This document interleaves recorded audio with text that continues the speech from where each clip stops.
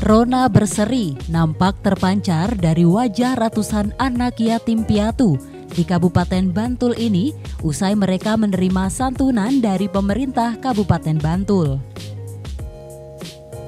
Wakil Bupati Bantul, Joko Purnomo beserta Ketua Penggerak Pemberdayaan dan Kesejahteraan Keluarga Kabupaten Bantul, Ami Masruroh, memimpin langsung prosesi penyerahan santunan yang bertempat di pendopo Pemkap 2 Bantul pada Kamis siang.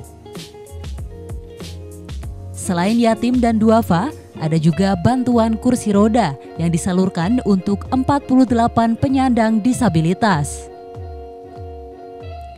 Bakti sosial ini merupakan rangkaian kegiatan yang digelar oleh pemerintah Kabupaten Bantul dalam menyambut hari jadinya yang ke-191 sekaligus sebagai upaya untuk memulihkan kondisi masyarakat pasca pandemi COVID-19.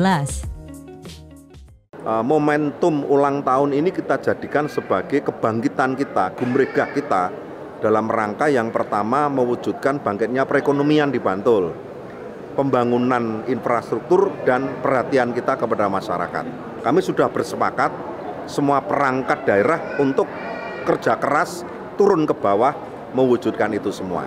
Alhamdulillah saya sangat senang sekali dengan mendapatkan bantuan kursi roda ini sehingga bisa saya pakai eh, pergi ke mana pun.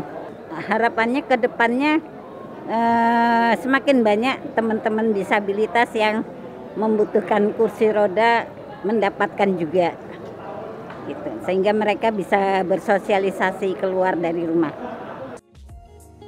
Kegiatan bakti sosial ini merupakan hasil kerjasama pemerintah Kabupaten Bantul bersama Dinas Sosial, Dinas Kesehatan, Rumah Sakit Umum Daerah Bantul, dan sejumlah instansi terkait.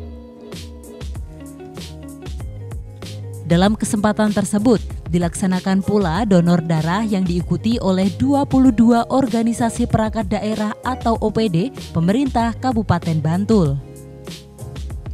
Dari Bantul, Daerah Istimewa Yogyakarta, Joko Pramono, Adi TV.